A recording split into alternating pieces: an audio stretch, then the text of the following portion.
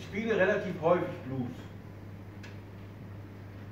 Und Blues hat immer drei Akkorde. Das ist die Gefahr. Das ist die Gefahr.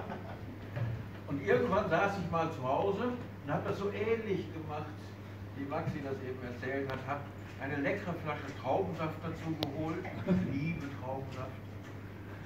Und habe gedacht, da muss man, das muss man aber anders machen.